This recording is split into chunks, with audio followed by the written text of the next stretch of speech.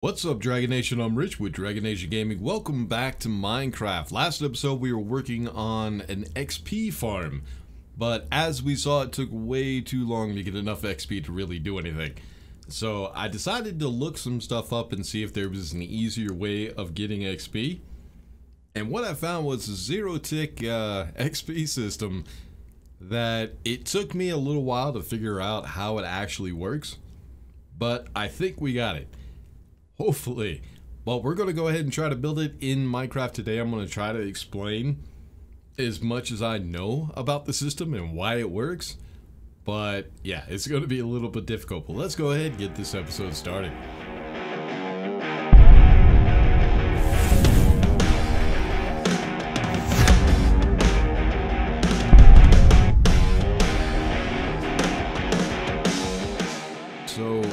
Still trying to figure out this system because I'm not 100% sure why it works or how it works. All I know is that it does. I've actually had it in my survival world and it seems to be working pretty good. What we need to start out with is a building block and then we're going to need redstone torches on either of the two sides. Now that we have that, what we need above that is something for our plant to grow on and then we need to be able to shift those blocks back and forth. And the way we're going to be doing that is with sticky piston. So what we need is a stick. Oh, no. Let's try right here. We're going to need a sticky piston on either side. Okay. Just right there. That'll be fine. Actually, I think it needs to go... Yeah, it needs to go right here. There we go.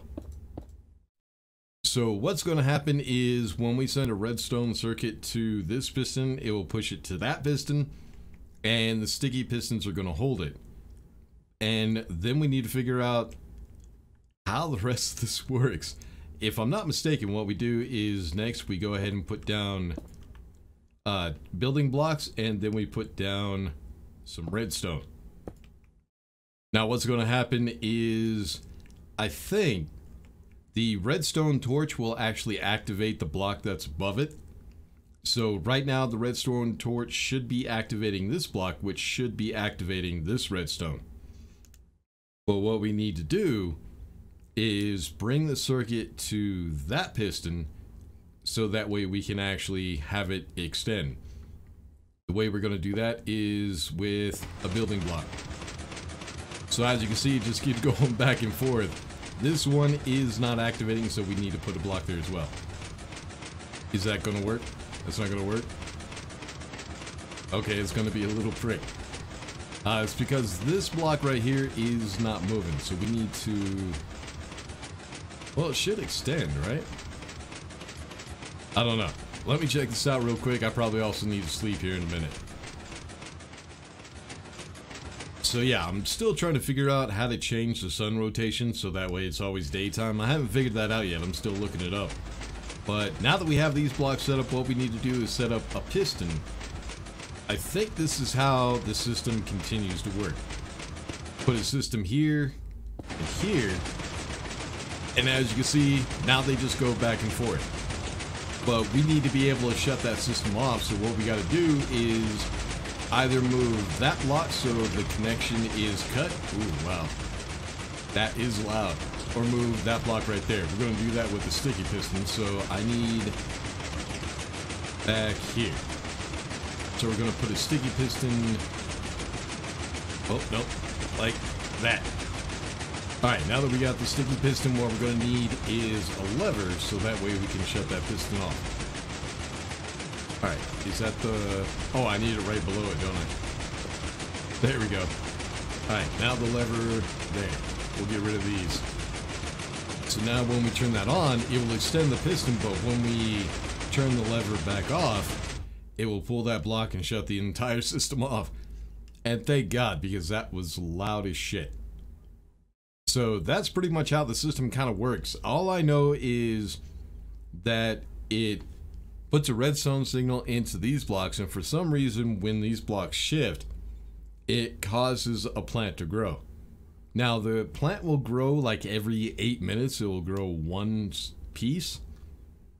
I'm not exactly sure. That's something I hadn't figured out quite yet, but I'm working on it. So what we're going to start out with right now is we're going to start out with the bamboo. So we need to see if the system works. I don't think it's going to work right now because there's a few things that I need to do. But if we look, right now the bamboo is just a sprout, basically. If we turn on the system, it'll just break that bamboo. So what we need to do is we actually need to grow it just one. So let's go ahead and grab some bone meal real quick. We'll let it grow one high. There we go. Now we can go ahead and turn the system back on. And as you can see, now the bamboo actually stays. That one I had to look up because I couldn't get it to work. So let's go ahead and break that stock and we can see that it grows pretty damn fast. Damn, it really does grow fast. Alright, so now what we're going to need is a system let me go ahead and shut this off. We're going to need a system to actually push or break that bam bamboo when it does actually grow. Now the cool thing is we do have some redstone right there that's got us set up. So we're going we're going to grab an observer if I could ever start talking English.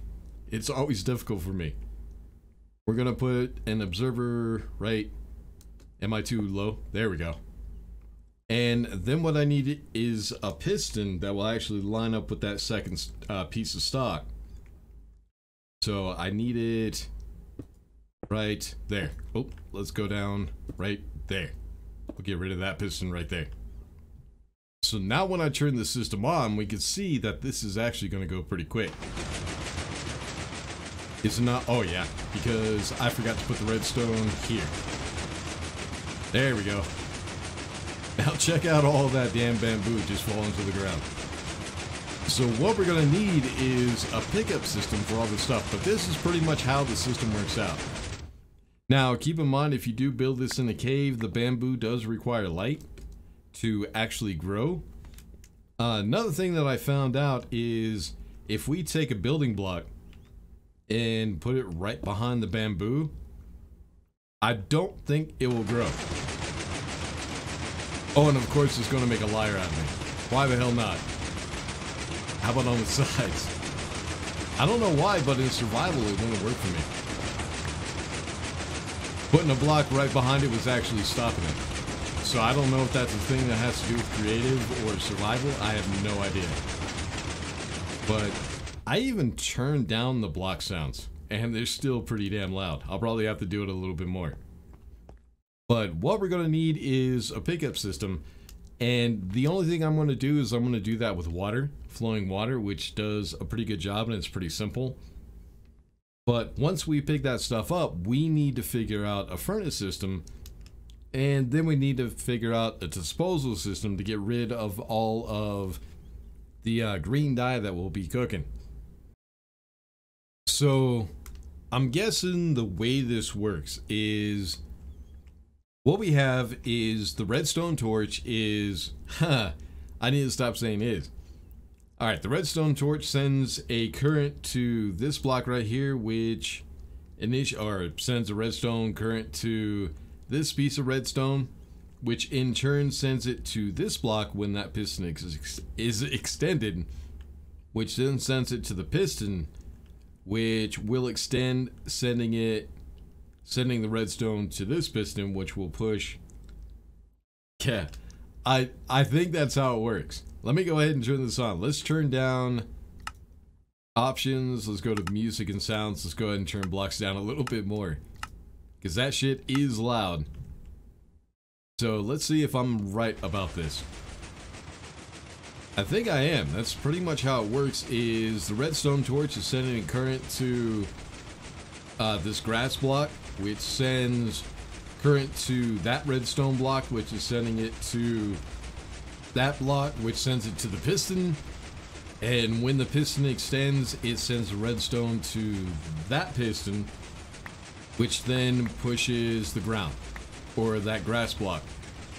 And then, of course, on the other side, it does it the same way. But because the uh, ground is actually shifting, these redstones are initiated or there's a current through them at different times, making this piston and that piston activate at different times, so every other tick. So I think that's the way it works. I'm not 100% sure. But I think that's it. Let's go and turn that off before it irritates the hell out of me. So now what we need to talk about is a pickup system because we need a, a way of getting all of the bamboo and the cactus. So what we're going to do is we're going to set up the same system for the cactus with the piston. Now the thing about cactus is if we go ahead and grab uh, some sand and then we put down a piece of cactus is when the cactus grows. This block right here the piston will actually break it but the problem is is a lot of times the cactus will fall on top of the cactus that breaks off will fall on top of this cactus and get destroyed. So the piston is actually really good for pis uh, pushing. Uh, I keep wanting to say piston. This piston is good for pushing the cactus off into, I guess we'll set up a water system. Probably be the easiest way of doing it. Just bring the water out this way and then figure out how to make it into an L and then have it picked up by furnaces. But yeah, I think that'll work. Let's go ahead and give it a shot and see. Alright, so there's one cactus. So obviously I can tell that the cactus is a little bit slower than the bamboo. Which is good because it's going to take a lot more bamboo. I think it takes four bamboo to cook one piece of cactus. I think. So we're going to need a whole lot more bamboo than we need cactus. So I might actually have to build multiple of these devices. Probably... I don't know. I'll have to get into the survival world, let it run, and see which runs out faster. So what we need to do now is we actually need to find a cleanup system from the furnace to get rid of some of that green dye. So we'll go ahead uh, set up a furnace right here so that way we have a little bit of room to kind of maneuver and figure things out a little bit. So we'll put the furnace there and we'll get rid of these blocks. So what we're going to need now is we're going to need a hopper to actually pull those items out of the furnace. So I actually need to hit shift. There we go. And then what we're going to use to get rid of those items is a dropper. But the problem with the dropper is you need a redstone signal into it in order to activate it. I thought when I first did this, oh, I need a whole shift. I thought I could do it a lever with a lever, but the lever only activates it for one tick. So what I need is a redstone contraption that will actually move that dropper around or the redstone around on a clock. So every other tick, it will initiate that dropper.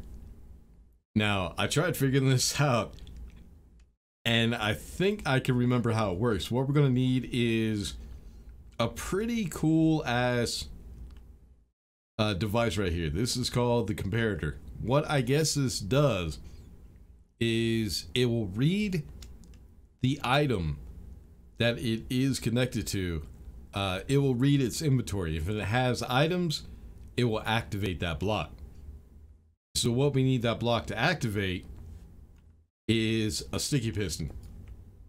And then what we're going to do is, let me go ahead and get an observer. I need to make sure I don't use any other block for that. And I think this is how it works. What we need is the observer. Nope, that's the wrong way. I think it's this way. On top of that piston, and then we need another observer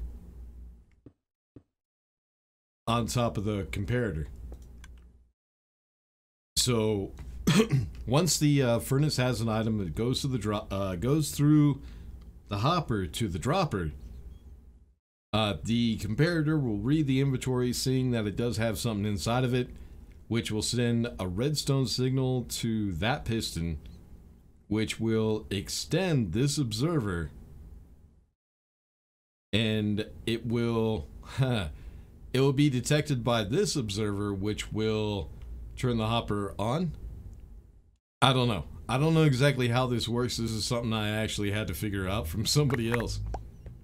But let's go ahead and we'll go to the furnace. We'll go ahead and put some bamboo and some cactus in there and see how this works out. Let's also go ahead and grab some green dye. We're going to need a little bit to test this out. So there it goes. It worked. It saw that it had inventory inside of the dropper, so it initiated the comparator, which initiated that piston. And yeah, it works. That's pretty cool. So what happens? Oh, it just stays on. Well, that's cool. So what we can do with that, let's go ahead and, ah, we'll leave it. What we could do with that is to go ahead and grab some sand and then we'll take a lava bucket and put lava right in that hole. Let's go ahead and grab all this green dye and we'll try this out. Make sure that this actually works. And there we go. Now we're getting, well, not all the green dye. I probably need to build a funnel for it. Let's go ahead and grab the sand real quick. So I think just like this. That should work. Maybe. I don't know. We'll see. Alright, so there we go. So if we put another wall right here, it will drop everything into that lava, getting rid of all the green dye that we don't need. Kind of cool. And then with the furnace, we could come up to it. We actually need to turn off that hopper. So we're going to need some stone. And then we're going to need a lever as well. And I think what I need to do is I need the stone here. Right next to the hopper. And uh, then the lever right in front of it. So now we could go ahead and shut that hopper off. Yep. Yep, there we go. Now we can go ahead and grab the XP. And as you can tell by the little tings, the little bells, it got us a little bit. So this is a pretty good system. This is how we're going to get rid of everything. But then we need to figure out how to get everything flowing into the furnace. All we're going to do is we're going to set up hoppers. That should be pretty simple, I think.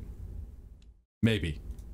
So what I'm going to do is, because of this, this system and how much it's actually going to get us, I think what I can do is I could do a row of seven or eight furnaces. I think we'll have enough for that. All we have to do is we take hoppers, uh, put one, come on, Can I not, there we go. Put one behind it, that's for the uh, fuel, and then one on top, come on, back me up. There you go. And then one on top, and that is for the cactus. And we'll have a row of seven or eight furnaces. And then we'll just have water which flows the items into the hoppers. So yeah, this system's going to take a little while to get backed up so that way it's uh, efficient. But, you know, it's a pretty good system. Also, another thing I just thought of is if we have a row of eight furnaces, let me actually try this out. What we need to do is, okay, go away you, is have a river system. Is that enough blocks? I don't think it's going to be. Let's get rid of these ones right here. So one, two, three, four, five, six, seven, eight. Then what we need is some water. And we don't want it to interfere with the lava. We just want it to go as far as just before the lava, just like that. So now that water should push the uh, green dye from, excuse me, that should push the green dye from all the furnaces into that lava. So that's a good way of getting rid of them. So yeah, it's a pretty difficult system, but let's go ahead and get into survival and see how this works out. Alright, so I decided to build the whole thing down in our mine, just so that way it's out of the way of everything else, and the noise doesn't get on my nerves. It looks like a couple of the furnaces. Yeah, they've ran out of bamboo. How's this one doing? This one's full. Why is the bamboo? Oh, because it's getting stuck. Really? Alright, let's go ahead and fill this one up with bamboo. And this one. So yeah, I have been noticing that the bamboo is getting stuck right here in between these uh, hoppers. Which is a little bit irritating, but we can go ahead and check the hoppers and see just how well they're doing. So they're filling up okay, but the problem is uh, there's just a lot of hoppers. So I don't think, yeah, see this one, this one's emptying out pretty fast. Uh, there's just a, not enough, yeah, this one is completely empty. Yep. So what I'm going to have to do is I'm going to have to build like two or three of the bamboo systems. Uh, one thing I also want to check out is, all right, that one has bamboo, but it's not going to last very long. We're not producing enough bamboo, so I'm going to need two or three. All right, that one's completely full of cactus. That one's completely, oh, there it is. So yeah, for seven furnaces, I think what I need to do is maybe two or three of each system. I guess I'll build two for each and just see how that works out. If we need to add more, we can. But I want to make sure that I have more bamboo than I actually need. And that really irritates me right there. But yeah, this is only a system of seven furnaces because it was symmetrical. Uh, this is an odd number of wall. So eight just kind of looks stupid, so I decided to only do seven. So we do have the river system in the back. Luckily, the hopper has actually stopped the water. Because that would have been difficult to figure out if it didn't. But let's go ahead and go up here so I can show you guys the system. Oh, it looks like we're getting some bamboo stuck up there as well. Well, damn it. I guess that's okay. I guess it's not a lossless system, but look at all the bamboo that is dropping down. So we still have a little bit of space in here that we can go ahead and build another system. I think. Yeah, we should have enough room. And then, of course, over here is the cactus. So I don't know. It, it's working pretty well. We just need more. Because it's not enough for the amount of uh, furnaces that we have. So the channels that I've been watching for help on this stuff is uh, one of them is Pixel Riff. I've actually been watching a lot of his videos. Uh, someone in the comments uh, gave me a link to God, I forget his name. ilmango. That's his name. I had to look it up real quick because I forgot.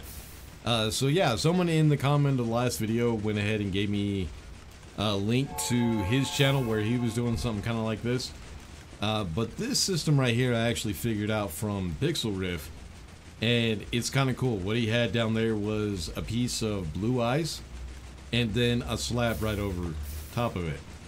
Now the reason for that is it allows things to pass through this uh, this block right here and it keeps this path of water from going this way. It's actually a pretty cool system. I probably wouldn't have thought of that on my own. But it's always the simple things.